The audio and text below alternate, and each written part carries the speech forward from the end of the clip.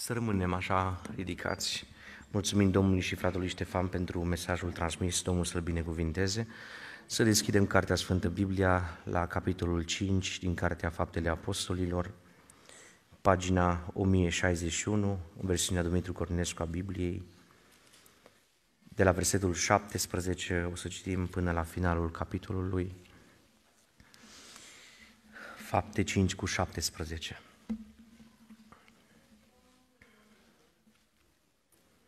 Însă marele preot și toți cei ce erau împreună cu el, adică partida salucheilor, s-au sculat plin de pismă, au pus mâinile pe apostoli și au aruncat în temnița de obște. Dar un înger al Domnului a deschis ușile temniței noaptea, i-a scos afară și le-a zis, Duceți-vă, stați în templu și vestiți norodului toate cuvintele vieții acesteia. Când au auzit ei aceste vorbe, au intrat dis de dimineață în templu și au început să învețe pe norod marele preot și cei ce erau cu el, au venit pe neașteptate, au adunat soborul și pe toată bătrânimea fiilor lui Israel și au trimis la temniță să aducă pe apostoli. Aprozii, la venirea lor, nu i-au găsit în temniță. S-au întors și au spus astfel, temnița a fost găsită încuiată cu toată grija și pe păzitori stând în picioare la uși, dar când am deschis, când am deschis, n-am găsit pe nimeni înăuntru.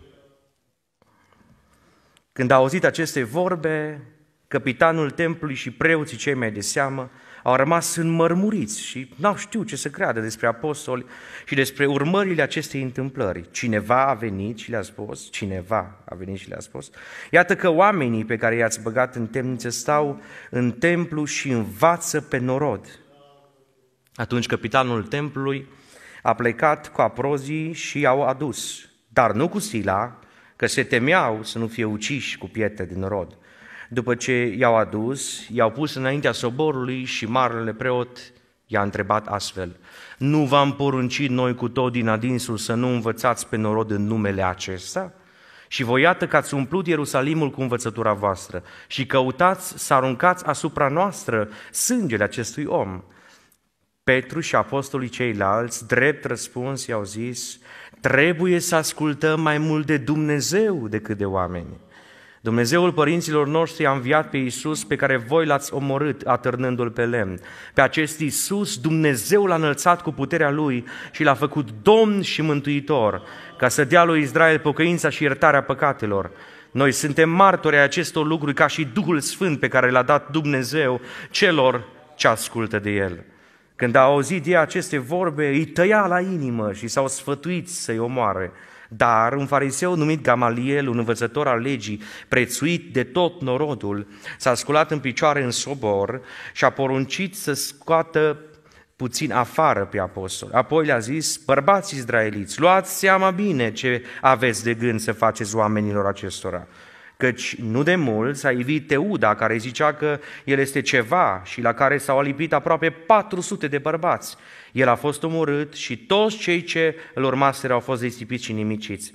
După el s-a ivit Iuda Galileanul pe vremea înscrierii și a tras mult noroc de partea lui. A pierit și el și toți cei ce îl urmaseră au fost risipiți. Și acum, eu vă spun,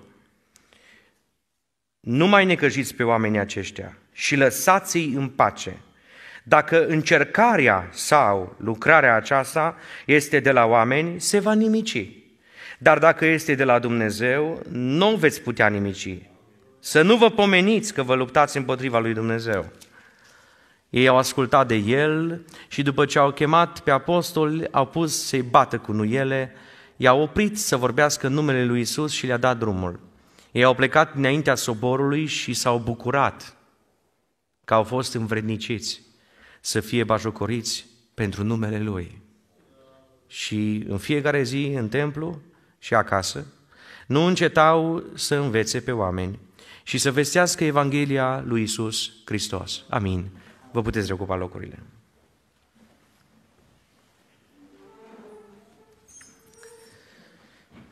Lăudați să fie numele Domnului. Este o mare bucurie să fim din nou în această seară în preajma Cuvântului Sfânt. înaintea lui Dumnezeu. Continuăm studiul Biserica Primară și cea prezentă. În această seară am ajuns la lecțiunea numărul 9, pe care am intitulat-o Biserica prigonită și protejată. Nu Biserica prigonită sau protejată, ci Biserica și prigonită și protejată. O să vedeți că nu e un paradox. Noi ne-am obișnuit să credem că biserica trebuie să fie doar protejată și toți zicem amin la asta. Vrea cineva să nu fie protejat? nu există. Toată lumea vrea. Corect? Vreți să fim protejați? Pe partea asta e cam pămut. Vreți să fim protejați? Așa, ok. Toți vrem, dar când e vorba să fim prigoniți, nimeni nu-și dorește. Dar stați liniștiți că asta vine la pachet. Vine împreună, cu prigoniri. Împreună cu prigoniri. Dar în această seară uh, o să încep cu o lecțiune uh, recapitulativă, o să amintesc puțin capitolele pe care le-am parcurs în studiu până în momentul acesta, pe scurt, un, un sumar al fiecărui capitol.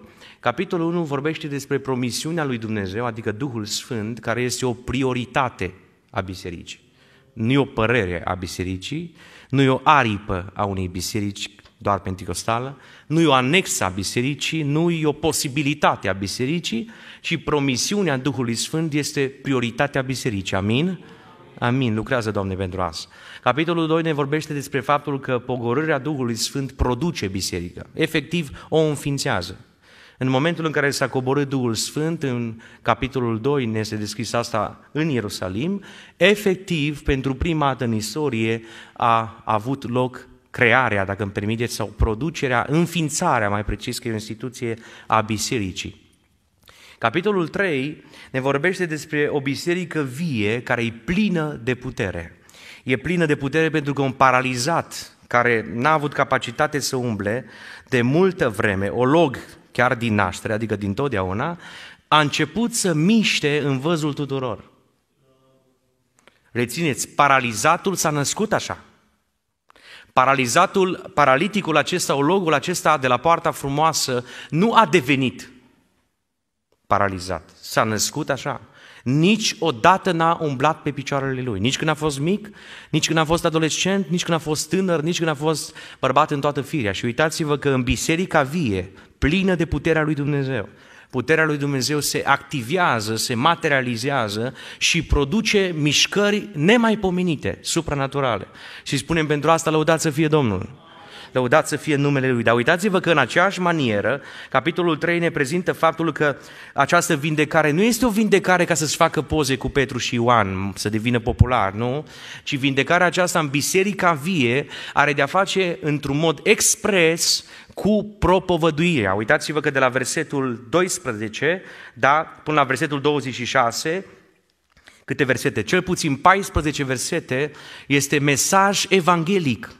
Este mesaj de propovăduire. Uitați că, că minunea este descrisă doar în 11 versete din capitolul 3, iar în 14 versete este propovăduit cuvântul.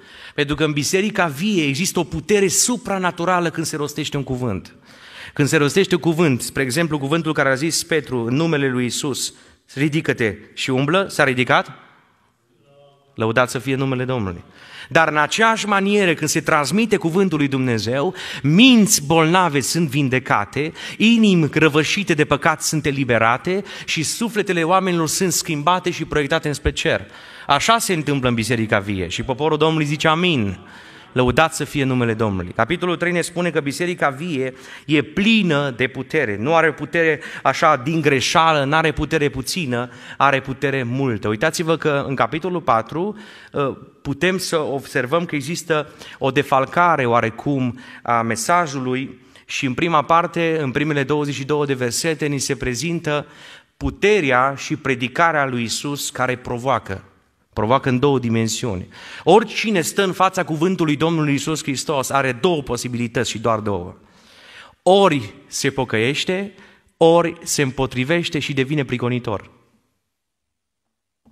Uitați-vă că mesajul creează doar două categorii de oameni. Mesajul predicat cu putere, da?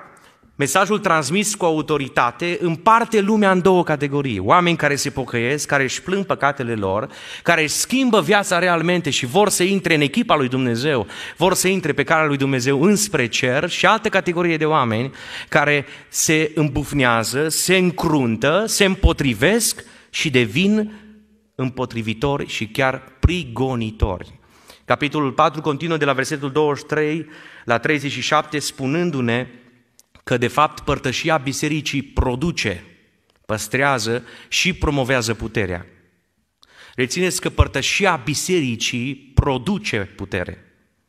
Când vii aici în părtășie cu frați, poate v-ați uitat și v-ați numărat, stați liniștiți că suntem aproape 150, deci eh, fiți liniștiți, suntem mai mulți decât cei din fapte 2, erau 120 aproximativ. Suntem cu câțiva mai mulți, așa că avem eh, factorul acela numit mulțime, necesar, suficient, ca să se producă putere. La fiecare părtășie în care poporul Domnului este adunat, se întâmplă ceva. Se întâmplă ceva și chiar bun, amin? Spune Biblia acolo în versetul 31, după ce s-au rugat ei, răvășiți, prigoniți, distruși, urmăriți, stați pe Interpol, în urmărire generală, că după ce s-au rugat ăștia, Biblia zice s-a cutremurat locul în care erau adunați toți s-au umplut de Duhul Sfânt, vedeți, putere, s-au umplut, puterea care te umplă, te umple și au început să vestească cuvântul lui Dumnezeu cu îndrăzneală. Părtășia bisericii, ne spune capitolul 4, a bisericii primare și a bisericii prezente, produce putere. Părtășia bisericii păstrează puterea, erau uniți. Mulțimea celor ce crezuse erau o inimă și un suflet și uitați-vă că promovează puterea. Pentru că puterea aceasta lui Dumnezeu, care nu este de obârșie omenească, începe să activeze cote alarmante. Oamenii încep să fie uimiți de ce se întâmplă. O să vedem că au ajuns la aproape 5.000 de oameni, 3.000 la o singură predică, ajung la 5.000 de oameni și toți se miră. De unde? Cu ce putere faceți voi lucrurile acestea? Asta e întrebarea uh, care de ordine a celor care nu-l suportă pe Petru, nu-i suportă pe oamenii lui Dumnezeu. De unde aveți voi putere? Și ei nu știau că puterea lor vine din catacombe, că puterea lor vine din stat în genunchi, că puterea lor vine din post, că puterea lor vine din lacrimi, că puterea lor vine din faptul că s-au pus la dispoziția lui Dumnezeu. Aici există putere. Unde sunt ei, fă tot și du-te. Unde sunt ei, fă tot și stai. Unde sunt ei, fă tot și caută-i, că unde ei, e un colț de rai. Aleluia! Lăudat să fie numele Domnului. Asta vrea să ne spună capitolul 4, capitolul 5, în prima parte, în primele 11 versete, vrea să ne transmită faptul că păcatul, indiferent care este el, în cazul acesta este păcatul minciunii, este pedepsit de Duhul Sfânt în biserică. Duhul Sfânt efectiv pune degetul pe păcatul din viața unui om, efectiv arată care e păcatul acela și apoi aduce, dacă nu se pocăiește omul acela, pedeapsa.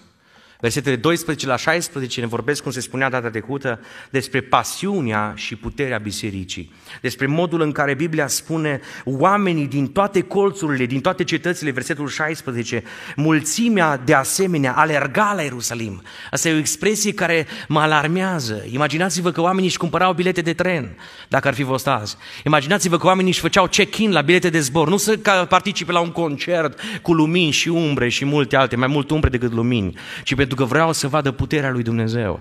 Pe unde pășea un bărbat, când soarele bătea pe el și se forma o umbră, ziceau ei, măcar umbra, nu reușim să ajungem până la mâna lui Petru, dar peste mâna lui Petru era mâna lui Isus Hristos. Era mâna Marelui Rege care vindeca, care elibera. Oamenii din localitățile vecine, spune Biblia, din cetățile vecine, aduceau pe cei bolnavi, pe cei chinuiți de duhuri necurate, cu greu îi aduceau pe ăștia. Pe un demonizat nu-l aduce ușor într-un context al închinării, ci uitați uitați-vă minunea. Și toți se vindecau. Aleluia! Lăudați să fie numele Domnului.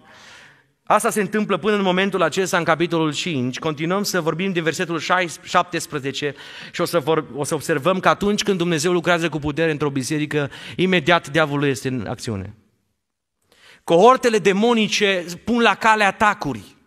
Nu pot să stea liniștiți. Versetul 16 spune, toți se vindecau și printre ei probabil erau și neamuri de ale lor. Și uitați-vă ce spune Biblia. Însă, versetul 17, însă marele preot și toți cei ce erau împreună cu el, adică partida saducheilor, s-au sculat plin de pismă, au pus mâinile pe apostol și au aruncat în temnița de obște. Vreau să observăm mai întâi motivele în contextul acesta al prigonirii bisericii. Care sunt motivele? Că ne interesează, nu? De ce niște oameni nu pot să doarmă? De ce niște oameni sunt atât de alarmați, atât de stresați? Ce cu ei, mă, de nu dorm? De ce nu-și fac somnul de, de frumusețe, sau cum să-l numim, de liniște? De ce n-au liniște oamenii ăștia? Ce, ce îi motivează, ce îi mișcă? Uitați-vă trei motive posibile, uh, inventate, bineînțeles, nu realiste, pentru care se produce biser- în biserică prigoană. Poate fi o prigoană interioară sau poate fi o prigoană exterioară. Uitați-vă că primul motiv e pisma, invidia. Biblia spune foarte clar, s-au sculat plini de pismă. Plini de invidie. Invidioși până măduva oaselor. Oriunde atingi la ei numai invidie. Dacă merge bine, de ce merge așa de bine? Dacă nu merge foarte bine, de ce nu merge bine? Dar când merge bine, mai ales o lucrare, așa de invidie există, domnule. Plini de pismă.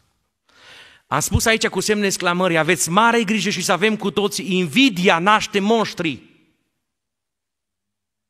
Invidia dezactivează creierul. Invidia îți smulge rațiunea. Invidia nu-ți mai lasă sentimente să funcționeze. Cum să pui tu mâna pe niște oameni care nu ți-au făcut niciodată rău nimic? Cum să-i agresezi? Cum să abuzezi verbal, fizic, cum să poruncești așa ca să te încânți tu la mintea ta că te-ai răzbunat. La final zice Biblia, după ce și-au dat seama că nu pot să-i mai țină în pușcărie, că îngerii țin cu ei, ce, ce au făcut? I-au bătut cu nuiele. Cum să bați cu nuiele un om când nu-i vinovat? Și să mai vrei să ai liniște noaptea. Să știți că nu prea există. Uitați-vă că un al doilea motiv inventat e păcatul demascat. Când i-au chemat la interogatoriu cu emoții de data asta, pentru că se temeau să nu fie omorâți de norod, vom vedea imediat, spune Biblia, ei au zis așa, nu v-am poruncit noi cu tot din adinsul să nu învățați pe norod în numele acesta? Puteți vorbi despre ce veți voi. Puteți vorbi despre știri, puteți vorbi despre informații, puteți crede tot felul de conspirații trimise pe WhatsApp. Dar mă, oameni buni, nu mai vorbiți despre Isus. Că ne furnică prin spate, ne curentează Isus. Simțim ceva care nu e obișnuit și, o, oh, bine ar fi să-i curenteze pe toți care nu-s pocăiți, dar o curentare sfântă a emoției din partea lui Dumnezeu, un fior al Duhului Sfânt și să-i elibereze, Domnul, amin? Lucrează, Doamne, pentru asta. Uitați-vă ce spune Biblia. Și voi, iată, nu numai că nu mai vorbiți așa și mai vorbiți pe la spate, voi ați umplut Ierusalimul, oameni buni, cu învățătura voastră și căutați, aici e o problemă mare, zic ei. Aici avem o problemă. Căutați să aruncați asupra noastră sângele acelui om. Când se vorbește despre dragostea lui Dumnezeu, când ți se spune poți să faci ce vrei, poți să păcătuiești, poți să minți, poți să înjuri, poți să transmiți informații false, poți să faci ce vrei în lumea asta, frate, că ajungi în rai. Atunci tot spun, extraordinar predicator. Dar când cineva vine și zice, ai grijă, sângele lui Isus Hristos este deasupra capului tău. Mâinile tale sunt pătate de sânge. Ești păcătos. Tu, așa le-a zis, așa le-au zis ei, direct, tu voi l-ați omorât pe Domnul vieții. În momentul ăla s-au simțit vinovați. Păcatul comis de ei, omorârea lui Isus, a fost demascat și n-au mai putut rezista. Au zis, nu-i, nu în regulă. Dați vina pe cine vreți voi, dar nu mai dați vina că noi suntem ăștia care l-am omorât pe Isus. De eu vă întreb, cine l-a omorât? Ei sau nu ei? Pe cine era marele preot? Același mare preot. Cine era capitanul templului? Cine erau saducheii care au strigat și au vrut să-l prindă cu vorba, există sau nu înviere? Cineva a fost căsătorită de șapte ori, cum va fi la înviere? Și au vrut să-l prindă și să aveți grijă că voi nu aveți coordonatele cerului, nu prea știți să gândiți în factură divină, aveți o mare problemă în cer, vom fi ca îngerii. Cu asta eu dat o replică la saduchei, că nu credeau în îngeri. Înțelegeți? Da? Când păcatul e demascat, se poate produce o prioană. Și firea pământească încearcă să atace pe omul care transmite mesajul, pe persoana prin care se demască păcatul. Un al treilea motiv este pierderea popularității. Ce au zis ei? Voi, iată că ați umplut Ierusalimul cu învățătura voastră. Dar nu era lor? A lor era învățătura. A cui era învățătura asta? Era învățătura lui Dumnezeu. Și ei niciodată n-au zis, oameni buni, noi am făcut vreo minune. Știți ce a zis în capitolul 3? Oameni buni, să știți foarte clar, dacă omul acesta este pe deplin sănătos, este prin numele lui Isus Hristos. Este datorită regelui nostru, a Domnului nostru. El este Domn și Mântuitor. Noi suntem, spuneau ei în versetul 32, noi suntem doar martori ai acestor lucruri. Ca și Duhul Sfânt, aveți grijă, nu suntem martori singulari. Duhul Sfânt e de partea noastră și și nu uitați, El este acela care a fost prezentat și înviat. Și cine l-a înviat? Dumnezeul părinților noștri a înviat pe Iisus, pe care voi l-ați omorât, atârnându-l pe lemn. Lăudați să fie numele Domnului. În momentul în care există invidie, în momentul în care se demască un păcat, în momentul în care cineva simte că pierde din popularitate, există posibilitatea unei prigoane. Trecem mai departe și o să observăm faptul că se mai întâmplă ceva și să vedem maniera în care aceștia încep să-i prigonească. Cum se manifestă această prigoană în acest capitol, în această parte de capitol 5. Uitați-vă că e vorba de un abuz fizic. Versetul 18, partea A, Biblia spune, au pus mâinile pe apostoli. N-aveau mandat de arestare. Nu erau împreună cu aprozii care trebuia să fie gardieni, ei trebuiau să pună mâna pe ei în mod legislativ, corect. De data asta, capitanul templului nu-i prezent. Doar e marele preot și împreună cu el partida saducheilor. Îi abuzează fizic. Pune mâinile pe ei. Uitați-vă că apoi există o altă manieră în care se manifestă prigoana și anume sunt privați de libertate. Biblia spune, versetul 18, partea B, i-au aruncat în temnița de obște, adică în temnița în care erau oamenii obișnuiți, publică, nu o temniță mai securizată, nu o temniță pentru oameni care n-ar fi făcut lucruri grave, ci o temniță publică pentru oamenii cei mai răi, prinși la colț de stradă că au furat, că au tâlhărit, că au dat în cap, că au omorât și așa mai departe. Da? Uitați-vă că modul în care sunt prigoniți continuă și se mai întâmplă ceva foarte clar. O a treia, o a treia lucrare pe care o derulează cel rău este faptul că este interzisă învățătura, interzicerea unor învățături. Îmi veți spune, nu-i chiar așa de grav să ți se interzică să mai spui ceva din Biblie. Eu vă spun că e foarte grav. Uitați-vă că încearcă să le insinueze și să le spună că ei nu se supun autorităților. De aceea ei formulează așa și îi spun în versetul 28, nu v-am poruncit noi, adică noi suntem autoritate peste voi, cu tot din adinsul să nu învățați pe norod în numele acesta și iată că voi ați călcat flagrant pe interdicția pe care v-am dat-o și ce ați făcut? Ați umplut Ierusalimul cu învățătura voastră. Să știți că la nivel de învățătură actualmente există prigoană, nu știu dacă credeți. De ce credeți că atunci când se prezintă un adevăr pur biblic, imediat se trezesc sute de oameni, dacă nu mii, care se contrazic acel adevăr printr-o așa zisă descoperire științifică. Ei n-au nici măcar, nu știu, 5 ani de școală în domeniu, nu specialiști, da? Ei lucrează în domeniul medical, dar ei nu au făcut în viața lor ceva în medicină. Dar încearcă să atace un mesaj, o învățătură biblică. Aici era atacat numele lui Isus Hristos. Aici era dată interdicția să nu se mai vorbească în numele lui Isus. Cu alte cuvinte, ei vreau să spună se produce o discriminare. Vă întreb, era discriminare sau nu era discriminare? Păi Petru n-a zis obligatoriu neapărat toți să deveniți ucenici ai lui Isus. Petru s-a ridicat într-un mod public, cu o libertate de exprimare ca oricare altul, cum vedeți, s-a ridicat și Teuda, s-a ridicat și Iuda Galileanul, adică aveau posibilitatea să vorbească și au prezentat argumente, au prezentat mărturii, dovezi ale faptului că ei sunt 100% siguri că Iisus Hristos a înviat.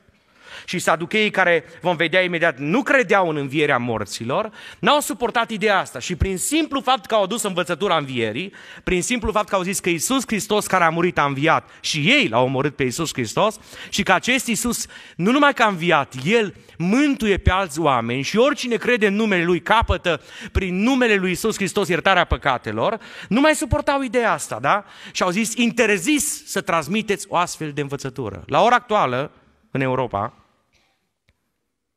dacă cineva are curajul, spre exemplu în Londra, am înțeles, să se ducă într-o piață publică la un megafon și să spună este interzis această învățătură a homosexualilor. Este păcat ca un bărbat să se căsătorească cu un bărbat și o femeie să se căsătorească cu o femeie. Imediat îi arestează. De ce? Discriminare. Nu știu dacă ați observat, în Senatul României, săptămâna asta, dacă nu chiar zilele astea, ieri sau la alte ieri, s-a dezbătut problema ideologiei de gen. Și când cineva, fără să dau un nume, pentru că nu fac uh, nici propagandă, nici nu prezint vreun partid politic, nici măcar partidul saducheilor, da?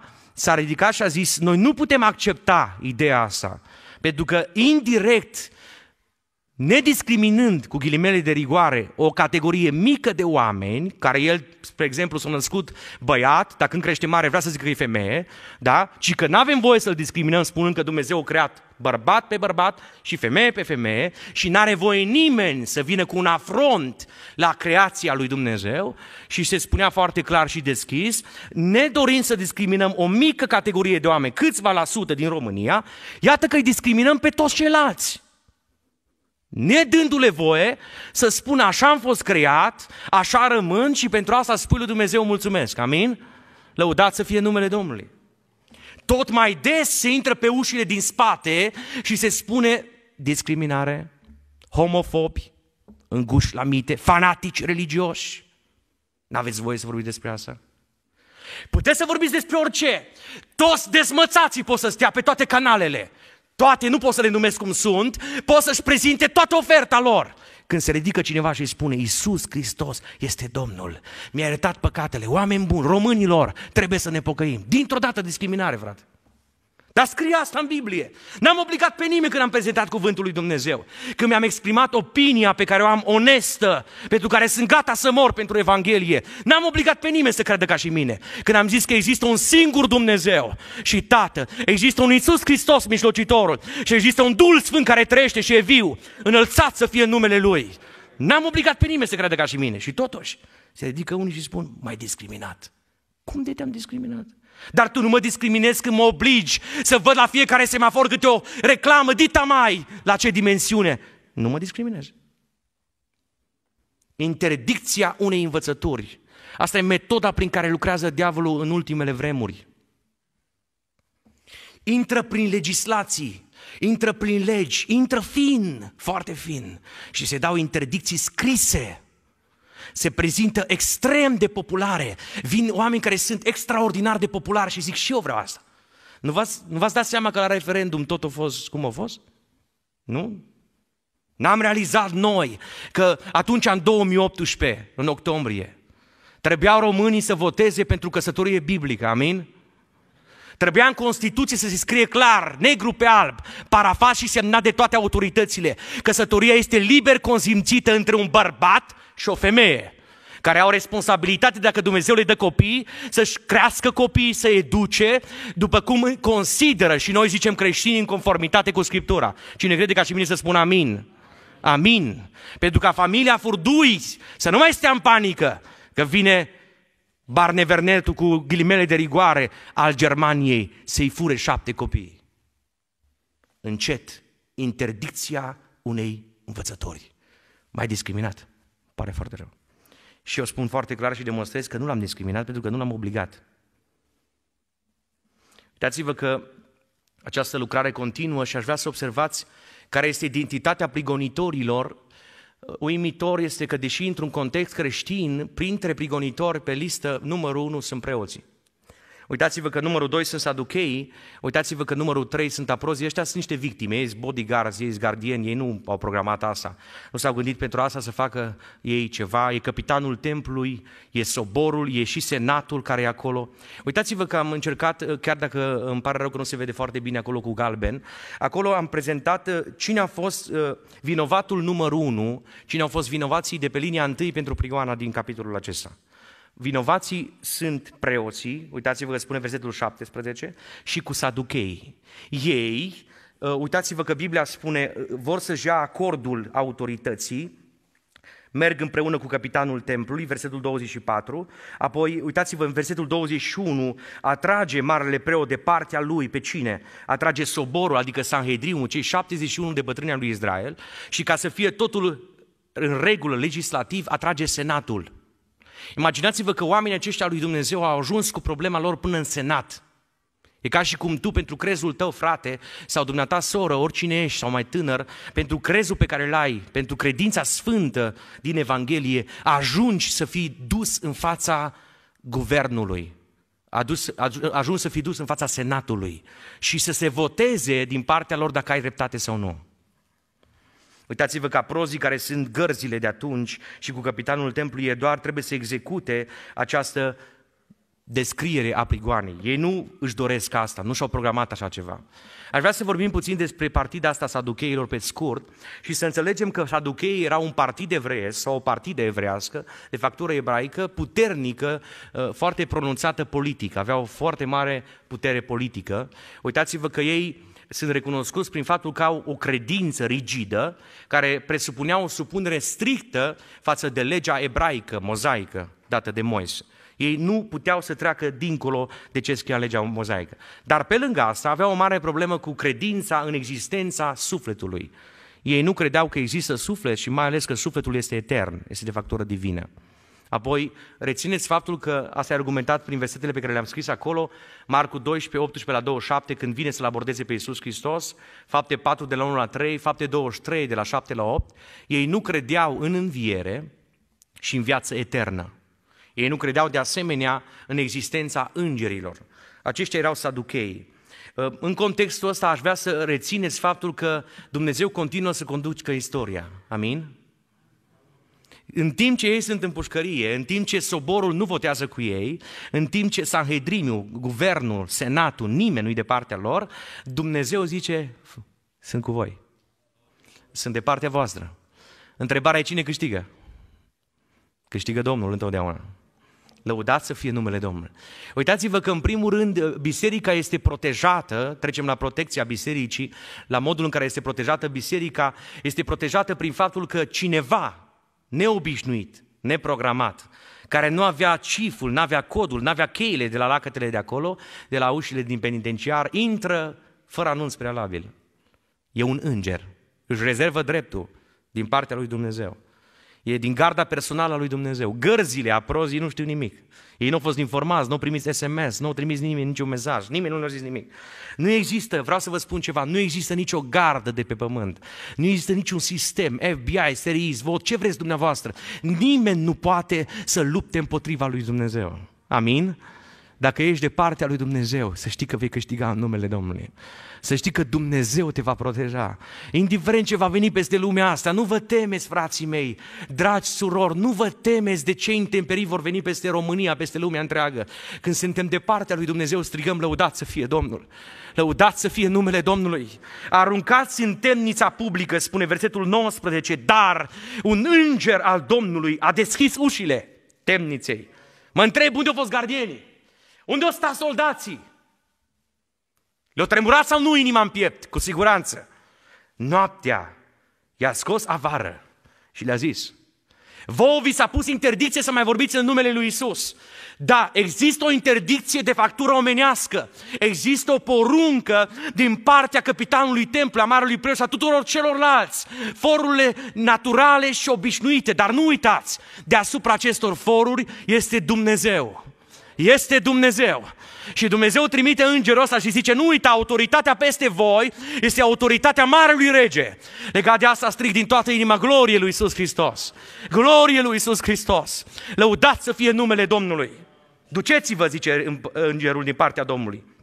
Stați în templu, chiar în templu, Doamne? Da, în templu. De acolo unde ne-a fost izgoniți? Da. De acolo unde ne-a fost scoși și n-am fost primiți din privorul lui Solomon? Da. Și vestiți norodului toate cuvintele vieții acesteia.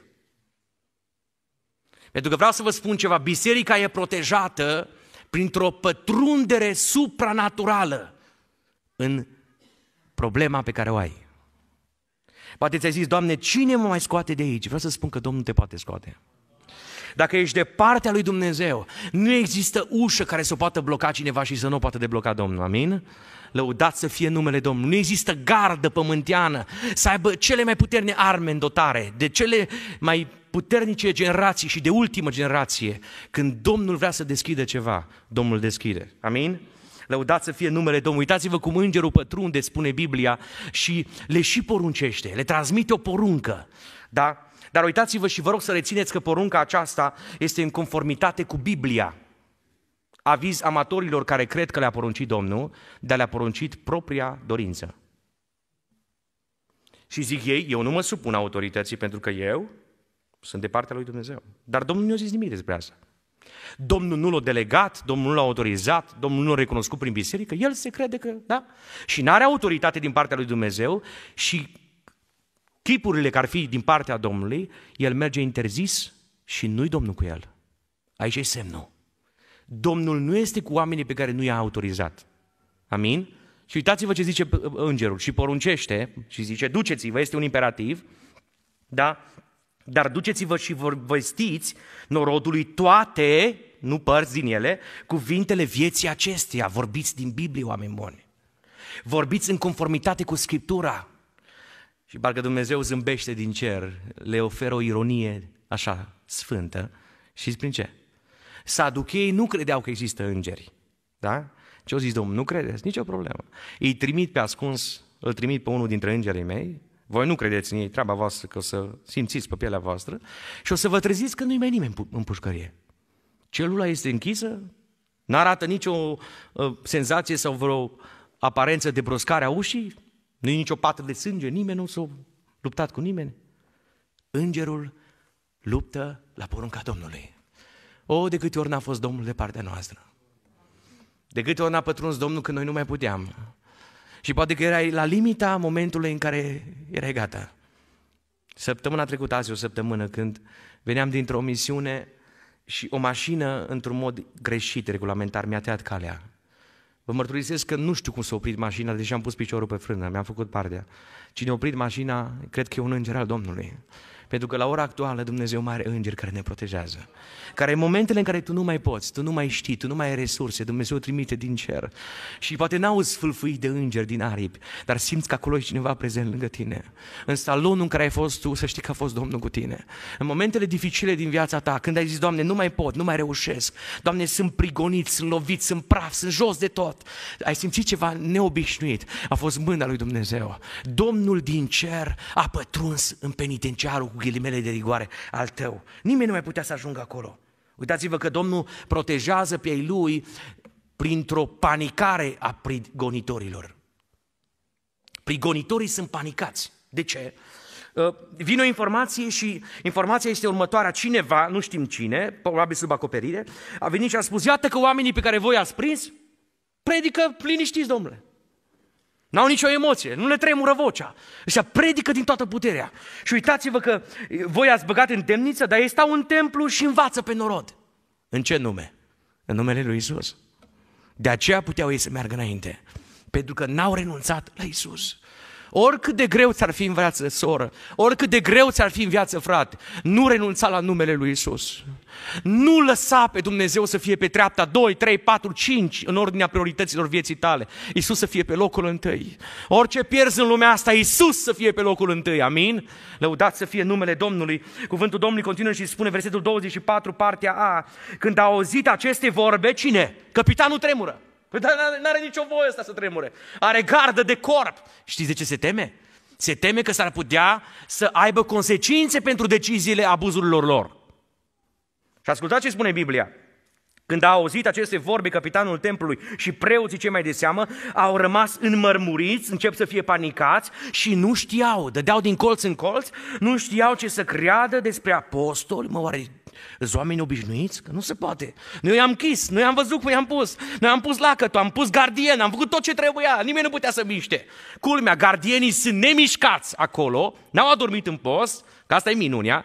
Celula închisă înapoi. Pentru că atunci când intervine Domnul poate să facă o lucrare încât nimeni să nu-și dea seama. O face ascuns și se trezesc alții. Mă, dar de unde sunt plata asta? De unde? Din partea Domnului. Că Domnul poate să facă lucrări mari. Noi nu trebuie să-i facem reclamă lui Dumnezeu. Dumnezeu face lucrările Lui și prin tot ce face El, numai El trebuie să fie înălțat. Amin? Lăudați să fie numele Domnului. Imaginați-vă scena, au ieșit apostolii din pușcărie, dar au trecut pe lângă gardieni ăștia, nu știu, surzi, orb, nu văd nimic, nu aud, nu înțeleg nimic, e noapte, nu știu sigur dacă dorm sau nu, probabil că dorm, da, sau dacă nu, probabil, apoi o insinuat ca și la, în cazul învierii. Noi am dormit cică și, culmea, îngerul își face timp să închidă celula. Și când intră ei așa, cum adică ați văzut în, în templu? Hai să mergem să căutăm. O mers cu gardienii, o crezut că ei se împotrivesc. Există încă un secret. Când ești de partea Domnului, taci când ești brigonit. Amin? Taci, are cine să te apere. Când nu te mai apără oamenii, vine îngerul Domnului. Când nu te mai apără pământul, vine cerul de partea ta. Rămâi de partea lui Dumnezeu, amin? Lăudați să fie numele Domnului. Și se tem de consecințe, pentru că realizează că au ieșit și acum uitați-vă, îi aduc liniștiți, nu mai îmbrâncesc, îi aduc liniștiți, pentru că zice Biblia, versetul 26, atunci capitanul templului a plecat cu aprozii și i-au adus, dar, o zis, vă rugăm frumos să veniți, vreți? Nu cu sila. Ei foarte bine manierați, oamenii lui Dumnezeu nu le dau replici, nu zice, mă, dar ce ați făcut cu noi? Tac frumos, liniștit, îl lasă pe Domnul să-i apere și spune Biblia, i-au adus liniștiți, fără obligație, fără abuz, fără să-i silească. De ce? Se temeau, se temeau că se întoarce placa. Uitați-vă că Domnul își protejează biserica prin faptul că aruncă o panică în prigonitori. Și ce spuneau de foarte multe ori dușmanii poporului lui Dumnezeu ebraic? Groaza Domnului bate în inima noastră. Am auzit că Dumnezeu e cu voi. Ne temem, ne temem, Dumnezeu e cu voi. Știți ce spunea Biblia despre Ioan Botezătorul? Se temeau, se temeau de el, pentru că știau că este omul lui Dumnezeu.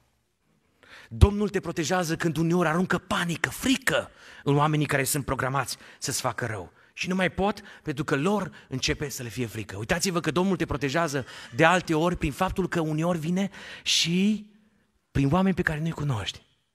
Oameni pe care nici măcar nu le știi exact numele. Nu le știi istoricul, genealogia. N-ai un tratativ cu ei, n-ai vorbit în prealabil, hai, ajută-mă că tu ești Gamaliel. Nu. Un anume Gamaliel, când ei sunt adunați doar ei între ei, Gamaliel, un om cu o reputație extraordinară, un om care atunci când zicea ceva, toți știau cum ăsta e foarte înțelept.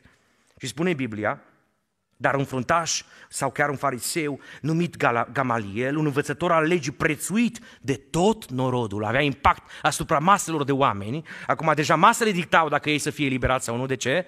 Pentru că dacă luau bolovan și ziceau, vedeți că i-ați aruncat în penitenciar pe nedrept, i-ați bătut într-un mod incorrect, deja puteau să fie omorâți conform legii ebraice da? chiar și cei care erau preoți, mari preoți și așa mai departe cu autoritate. Și Gamaliel zice, s-a sculat în, în picioare, în sobor, rețineți, da? s-a ridicat acolo în Sanhedrim, unde nu vorbește oricine, s-a ridicat printre cei 71 de bărbați și a poruncit să scoată afară și a zis, nu mă pic liniște, vreau să vă spun ceva în taină.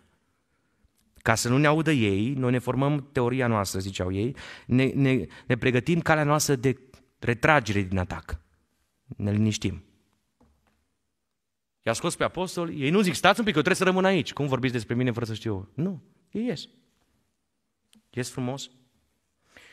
Și ascultați ce zice bărbatul ăsta, străin. Nu-i de partea apostolilor, n-avem dovezi că a participat la vreo evangelizare de-a lor, n-avem dovezi că s-ar fi predat Mântuitorului, era un străin.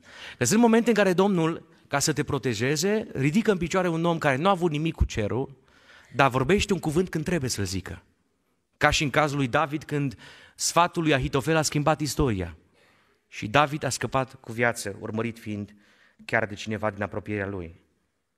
a zis el, fiți foarte atenți, istoria ne învață că nu avem voie să luăm decizii în grabă. Cazul lui Teuda, un bărbat care a avut în jurul lui 400 de oameni, care și-au dorit, au intenționat să organizeze o răscoală și n-au reușit. Uitați-vă că prezintă un alt caz din istorie, vine cu argumente logice și zice așa, a fost un altul, s-a evit Iuda Galileanul pe vremea înscrierii, care n-a vrut nici el împreună cu alții să fie în ecuația aceea a recesământului. Dar nu uitați, chiar dacă a tras mult noroc de partea lui, a pierit și el. Și toți cei ce-l urmaseră s-au risipit. Și Gamaliel zice un principiu foarte important. Dacă, ascultați ce inteligent vorbește el, el zice așa, dacă încercarea, ca să le placă și lor, știți? Nu au zis prima dată dacă lucrarea asta de la Domnul, nu, nu, nu, nu. El zice, mă, s-ar putea să fie doar o încercare a lor. Sau, că se corectează, dacă încercarea sau lucrarea aceasta vine de la oameni, stați liniștiți, se face praf. Dar continuă, nu se oprește aici și zice, dar dacă eu nu sigur zice că e de la Dumnezeu sau nu, dar dacă este de la Dumnezeu, aveți grijă. Puteți sta în cap, nu puteți opri. Puteți să vă dați ce vreți voi, mari, mici, ce vreți. Puteți să vă învârtiți pe lângă muntele nu știu care, puteți să aprindeți lumânări. Nu puteți opri. Ăsta e principiul lui Dumnezeu. Când Dumnezeu e de partea unei lucrări, lucrarea aia merge înainte. Amin? Lăudați să fie numele Domnului. Când Dumnezeu este de partea ta, vei fi biruitor în numele Domnului. Să stea 99% de oameni împotriva ta, numai tu 1% să fii de partea ta și cu Dumnezeu, să știi că câștigi. Amin? Lăudați să fie numele Domnului. Uitați-vă ce principiu prezintă Gamaliel. El zice foarte clar, dacă este de la Domnul o lucrare, lucrarea aceea va înainta, dar ai grijă. Dacă tu intri pe interzis, te trezești și poate prea târziu că ai, lucrat, că ai luptat împotriva lui Dumnezeu. I-a înfiorat ideea asta. Totuși mai aveau pic de simțire în ei. Încă mai știau ce înseamnă să te lupți împotriva Domnului. Rețineți că toți oamenii aceștia erau religioși până măduva oaselor. Erau specialiști în Talmud, știau foarte bine Tora, cărți întregi din Vechiul Testament, le știau ad literam pe de rost. Dar diavolul i-a folosit, diavolul i-a folosit să producă o prigoană, însă Domnul a fost de partea poporului său. Pentru că există un al treilea mod prin care Domnul te protejează și anume, ce protejează Domnul prosperă. Nu pământește, ci spiritual. Omul acela pe care îl protejează Domnul prosperă din punct de vedere spiritual, înflorește de-a dreptul. Îl vezi că e un alt fel de om, îl vezi că e plin de pace, are liniște. Și cum cântăm noi o cântare, să ai pace în mijlocul necazului tău. În mijlocul prigonirilor tu ești liniștit. Cum se spunea în Psalmul 4, eu mă culc și, și adorm, dar în pace. Că Tu, Doamne, îmi dai liniște de plină în locuința mea. Dacă nu mai ai liniște în locuința Ta, dacă nu mai poți să dormi liniștit, ne rugăm în această seară Domnului și zicem, Doamne, ai milă de fiecare dintre noi. Doamne, trimite îndurarea Ta, prezența Ta, numele Tău, puterea Ta, Doamne.